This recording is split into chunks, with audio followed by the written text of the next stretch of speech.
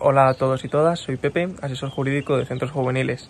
En el vídeo de hoy os voy a explicar las últimas ayudas eh, decretadas para los alquileres, eh, sobre todo en qué consisten estas ayudas, quién las puede solicitar, qué documentación tiene que presentar y dónde hay que presentarla. Eh, como es un vídeo un poco más técnico, lo haré a través de unas diapositivas y al final del mismo os dejaré el correo de asesoría, ya que yo sigo contestando las dudas que podáis tener no solo consultas de alquileres, sino cualquier otro tipo de consulta, ya sea arrendamientos, civil, penal, administrativo, lo que sea. Eh, espero que os guste. ¿Qué ayudas se contemplan en el Real Decreto Ley? Suspensión de desahucios. Todos los procedimientos judiciales de desahucio que tengan aprobado el lanzamiento quedan suspendidos. Esta medida se extenderá hasta seis meses después de la finalización del estado de alarma. Prórroga extraordinaria en los contratos de alquiler.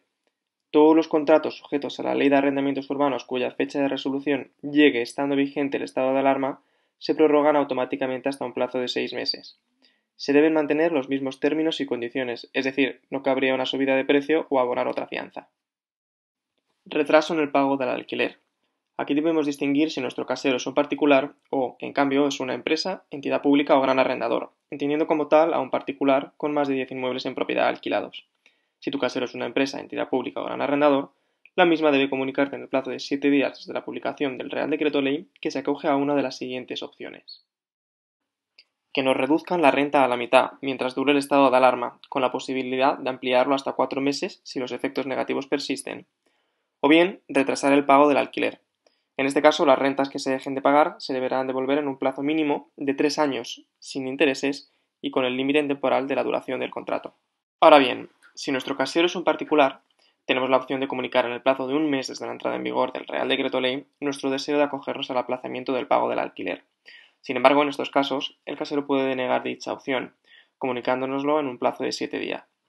Para estos supuestos, el inquilino tendrá a su disposición un programa de ayudas que explicaré a continuación. Microcréditos sin intereses. Se ha aprobado una línea de avales y microcréditos sin intereses que podrán devolverse en un plazo de hasta seis años ampliables a diez.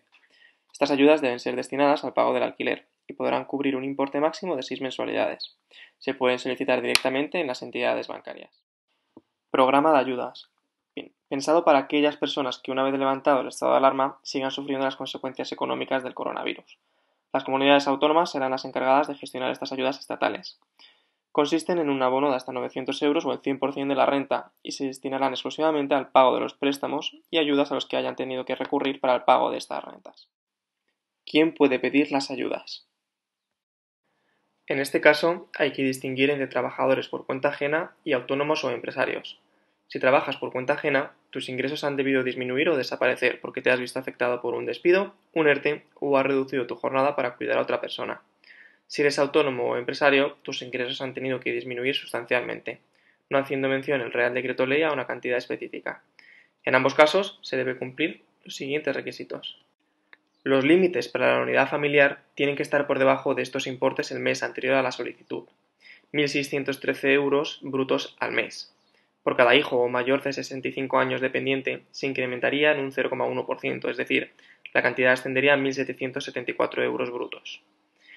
Para familias eh, monoparentales, el límite mensual asciende a 1.855 euros. Y si alguno de los miembros de la unidad familiar tiene una discapacidad reconocida superior al 33%, este límite asciende a 2.151 euros. Además, la renta del alquiler, sumada a los gastos y suministros básicos, como son la electricidad, el gas, el gasoil para la calefacción, agua corriente, eh, telefonía y pago de la comunidad, tiene que representar al menos el 35% de los ingresos netos de la unidad familiar. No se podrán acoger a estas ayudas las personas que tengan en propiedad una vivienda, salvo si esto se ha producido por una herencia o porque, aunque tengan una vivienda, no dispongan de la misma por razones tales como un divorcio o una separación. ¿Qué documentación debe presentarse? Aquí hago referencia a tres tipos de documentación. Una es para los datos económicos, otra es para los datos de la unidad familiar y otra sería para las titularidades. Para los datos económicos habrá que presentar eh, una serie de certificados, dependiendo de si somos trabajadores por cuenta ajena o somos eh, autónomos o empresarios. Si eres un trabajador por cuenta ajena y te has quedado en situación de desempleo, te ha afectado un ERTE o tu situación laboral ha cambiado a raíz del coronavirus, deberás aportar un certificado expedido por el SEPE. Si trabajas por cuenta propia, es decir, eres autónomo o empresario, deberás aportar un certificado expedido por la Agencia Estatal de la Administración Tributaria en base al cese de actividad.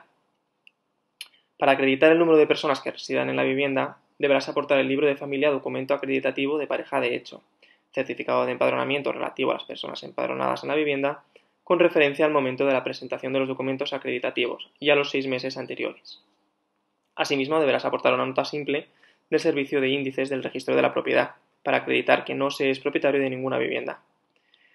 En el caso de no poder aportar alguno de estos documentos, se puede sustituir mediante una declaración responsable, que incluya la justificación expresa de los motivos que impiden tal aportación.